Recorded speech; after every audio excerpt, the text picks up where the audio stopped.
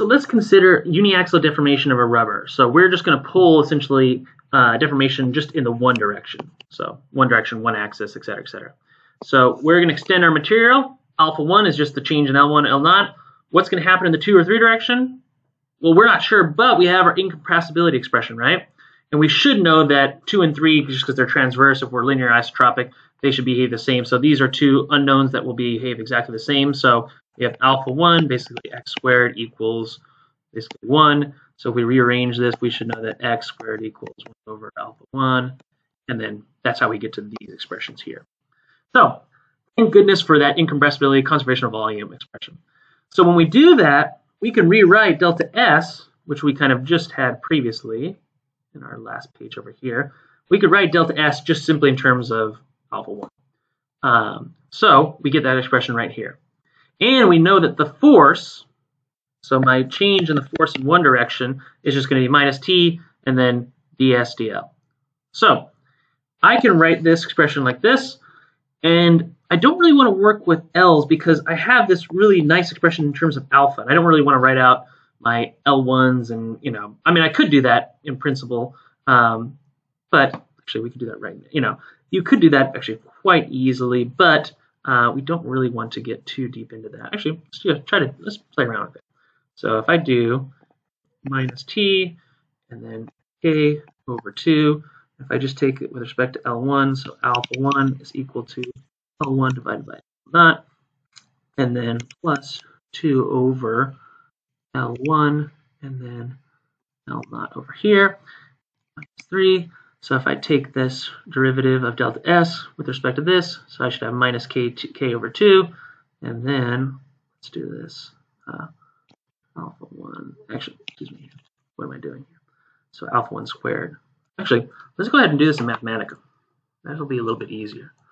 So, delta S equals minus uh, k, I'm going to clear k. I'm just going to clear everything here. Sorry about that quick change in plan. I just wanted to. You could do chain rule and do all these kind of fun things, but we actually have the expression right here. So delta S equals minus k divided by 2, 2 times alpha 1 squared plus 2 divided by alpha 1 minus 3. So when we do that, I take the derivative, derivative of delta s with respect to, okay, let me plug in, uh, and actually let me say that alpha 1 equals L1 divided by L naught. So we've got that, plug that back in this bad boy here. I don't know why I have a negative negative, but I'm actually getting ahead of the game, but we have that. So I need to take the derivative, so actually minus t times the derivative of delta s with respect to L1 Get that out. Let's do, let's do full simplify. And let's see our expression. So L1 divided by L naught squared. Actually, let's see. It's KT. So actually, yeah, we could break this down. Hopefully this stays up. Uh, can I, so I have K, oops, yeah, I knew that was going to happen. So let's redistribute the L naughts so it could look like that. So let's see if they match. So it's KT um, basically over alpha L1 divided by L naught uh, squared minus KT times 1 over alpha, uh, alpha 1 squared. Alpha 1 is equal to L1 divided by L naught. So that'd be squared squared but it's flipped. So I would do basically L naught squared uh, divided by L1 squared, but the L naught here cancels out here, so it should be like this. So let's see if that makes sense. So KT, let's see, KT L1 over L naught squared, perfect, minus KT L naught over L1 squared, fantastic. So we skip, we jump the line, and now we're good to go. So you could rewrite that in terms of alpha or L1s. I mean, I think that's why we want to keep in terms of alpha, so you could do the chain rule. But anyways, we got to the expression. Fun. So that's our force. So we could find the stress now divided by the cross-sectional area, and we know that's the 2-3 plane. We'll call that A naught. So um, we looked at from a single chain, but we would know stress for the whole network. So there's a number, Z again, of subchains per volume. And so we can use that expression and get the following.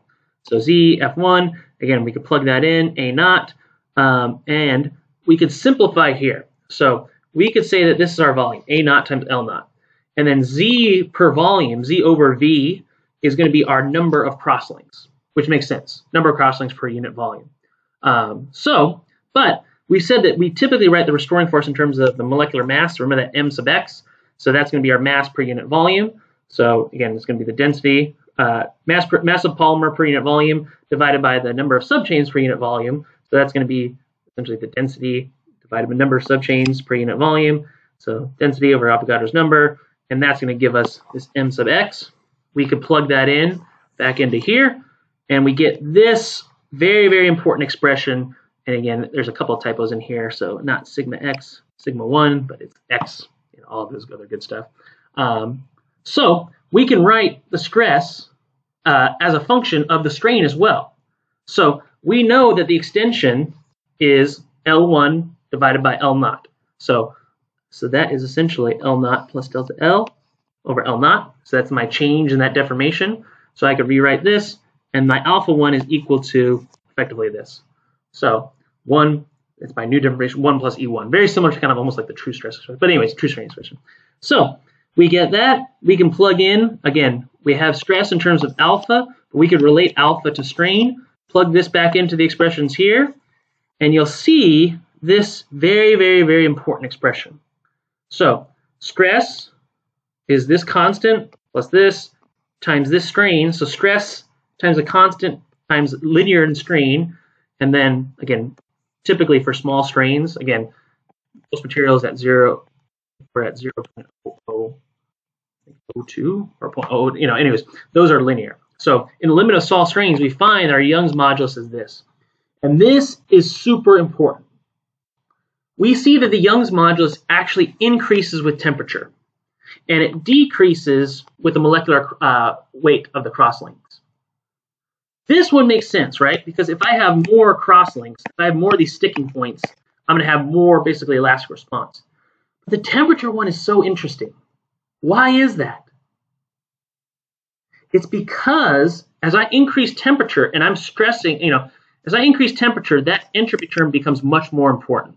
So my little spaghetti wants to kind of relax back, but I'm stretching my polymer, and as it increased temperature, it, that entropic restoring, restoring force, restoring force, excuse me, wants to push back even further.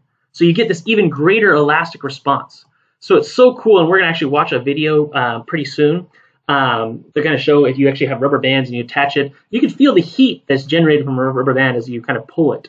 Um, uh, but it's a really, really cool kind of uh, idea. So it's super, super interesting again, opposite of ceramics and metals, right? As we increase temperature there, typically Young's modulus will decrease.